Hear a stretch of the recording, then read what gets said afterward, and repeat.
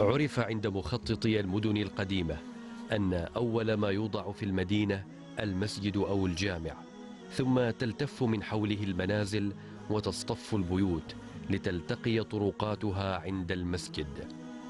وهنا في مدينة بهلة يظهر ذلك جليا حيث يتوسط المسجد الجامع بيوت الحارات مرتفعا على ربوة صخرية خلف القلعة.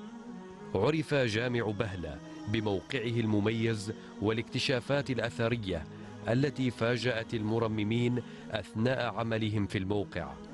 حيث قادت الصدفة في أحد الأيام عام 2002 إلى سلسلة كشوفات مهمة في هذا الجامع. عندما كان فريق الترميم يعمل على تمديد التوصيلات الكهربائية في أرضية الجامع. حيث عثر على آنيتين من الحجر الصابوني. تم بعدها إيقاف أعمال الترميم والشروع في إجراء حفريات في أرضية الجامعة. قادت عملية تتبع تلك الأواني إلى الكشف عن مردم عظام يعود إلى الألفية الثالثة قبل الميلاد محفور في الطبقة الصخرية التي بني عليها الجامع وقد عثر على أعداد أخرى من أواني الحجر الصابوني المختلفة والجرار الفخارية والأحجار الكريمة كالعقيق الأحمر والهياكل العظمية.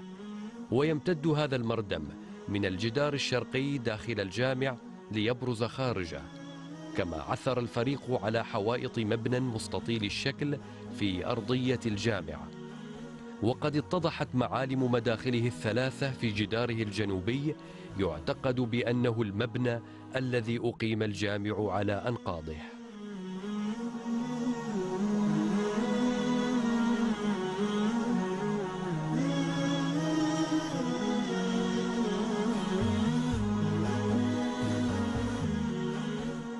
وفي زاوية أخرى من أرضية الجامعة عثر على كنز من العملات الفضية مخبأة في صرة يحوي الكنز تسعين درهما فضيا.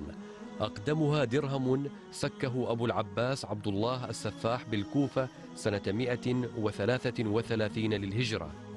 إلا أن ما يميز هذا الكشف هو انفراده بوجود عملات تسجل لأول مرة تعود إلى القرن الخامس الهجري وهي من سك الإمامين راشد بن سعيد والخليل بن شاذان. وقد أزالت هذه العملات لبسا تاريخيا واختلافا بين المؤرخين حيث اعتقد الكثير منهم بأن الخليل بن شاذان تولى الإمامة قبل الإمام راشد بن سعيد. والحقيقة التي أظهرتها التواريخ على العملات عكس ذلك. إن الزائر لهذا الجامع ينبهر بالعدد الكبير من النصوص المكتوبة بالحبر في طبقات طلاء أعمدة الجامع وحوائطه. وقد قامت وزارة التراث والثقافة بتوثيق تلك الكتابات والتي تضمنت مجموعة من الأحداث أمدتنا بتواريخ مهمة حمل أقدمها عام 528 للهجرة. وهو ما يعني أن هذا الجامع كان قائما منذ حوالي 900 عام.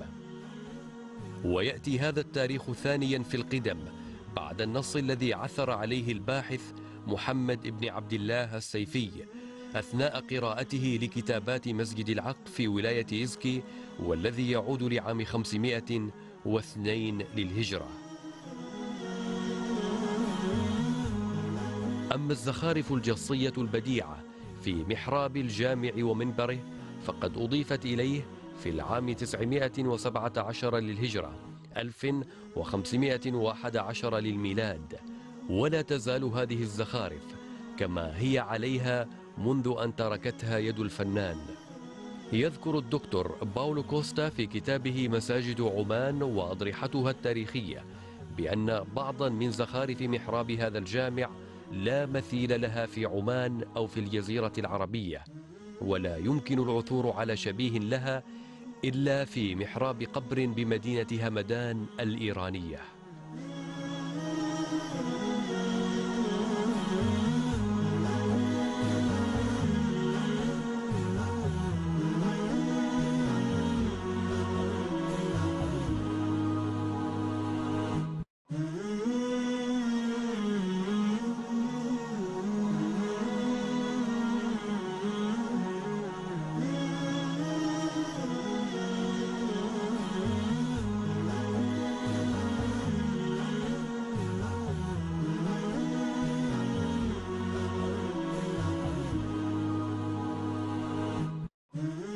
قدمت الكشوفات في جامع بهلة حقائق مغيبة وأزاحت اللبس والغموض عن جانب من تاريخ عمان الحافل ورصدت كتابات حوائطه تواريخ مغيبة عن المؤرخين حين دونها كاتبها وقت حدوثها. نغادر هذا الموقع والجميع مدعو لشد الرحال إليه.